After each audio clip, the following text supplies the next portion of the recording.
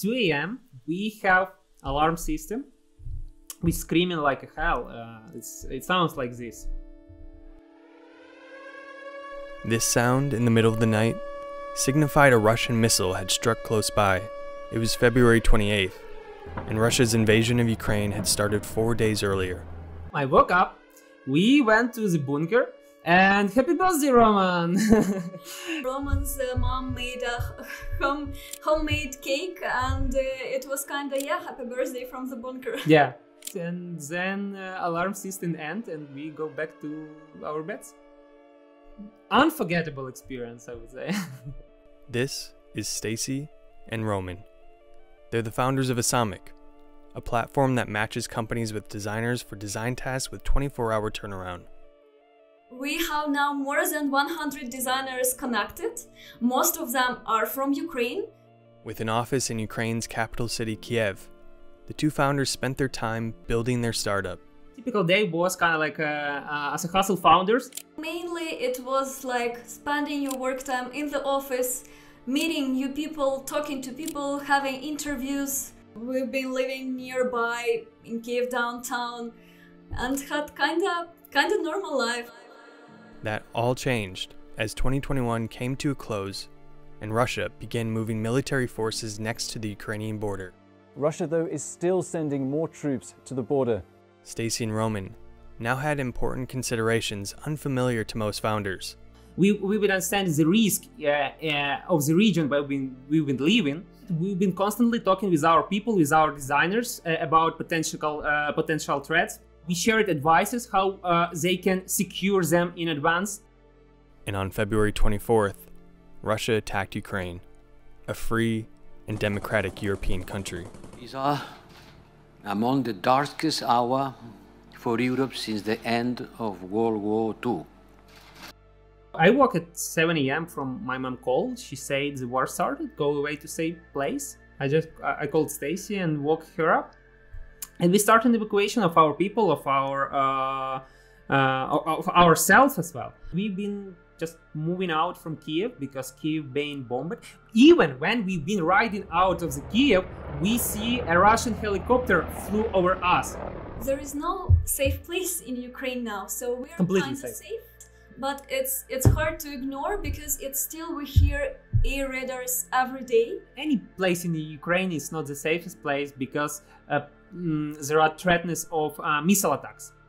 Uh, we didn't expect this full massive scale invasion. Um, so it was surprise for us. Uh, even we've been preparing for some escalation. Once the two founders found safety for themselves, their concerns and focus shifted to their Awesomic team. To be to be honest, the first days were so much about panic and stress for the people who were denying the reality and it was hard to deal with everything that is going on because it was like living a horror movie or a dream. But for us having a plan in advance just help us to focus and execute. It was more like a robot mode when Yeah. you're just executing step by step. You know what to do. You know what funds do you need and things like that the first months for me was really intensive we've been helping everyone so no time to to be depressed or to feel sad or something like that. You're just active, you're executing. Executing this emergency plan was key to helping those that needed it most. But the emotional toll and trauma exposed itself once that initial hard work was over. Uh, for me, the hardest part was when the photos from Bucha were released.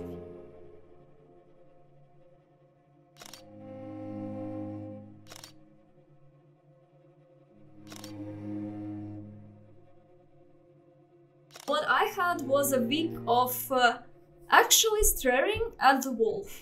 It was the week where I it was hard for me to focus. I was staring most of the time just at the wall, thinking my thoughts.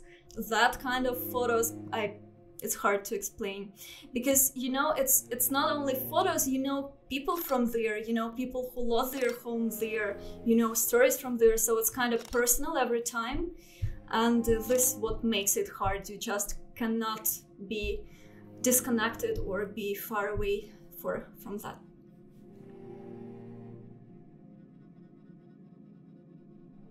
after these uh, horrible photos were, were released, we discovered a lot of raping cases and uh, we had a few girls and one, one of them was in occupied city so actually a few days straight we've been thinking how to hide her uh, what instruction instructions should we provide her what her relatives should do for like invaders to not find her these were maybe the the, the most fears that i had related to the safety of my people. We, we've been kind of like paying for, uh, we call this kamikaze drivers. It's a person who knows safe roads in very dangerous locations. So they could, ri- could ride to our person, pick them up, their relatives, and evacuate them. This was the last person uh, getting to the safe place from the occupied city already. We're so happy that we just have them. Safety threats are the most important. So if there are some um, any new coming safety threats we see in some region where our people or where we are,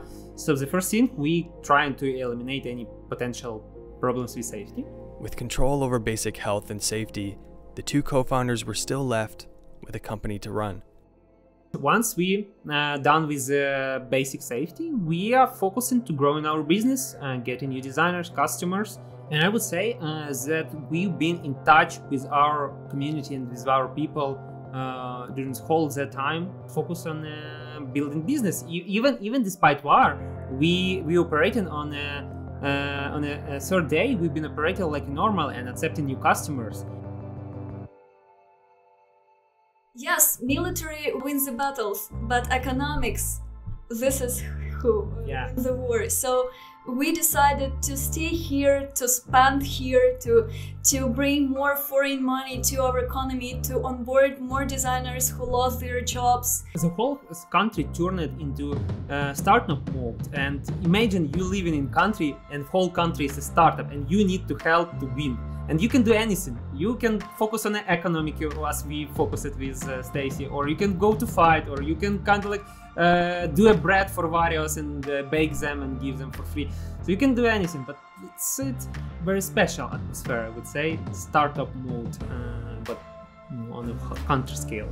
That countrywide startup mode has produced extraordinary resilience by the Ukrainian people and has helped slow and even stop some Russian advances.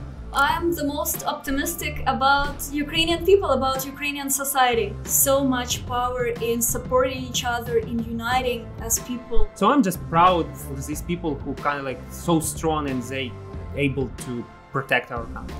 The optimism these two co-founders showcase are necessary for any founder building a company, but even more so for those fighting for the freedom of their country. Now I think it's more like optimistic future. We discussing how we would rebuild the country once this would end. That's I would say one of the most active discussions. We are stay strong. We would resist and help Ukraine, and uh, we would win.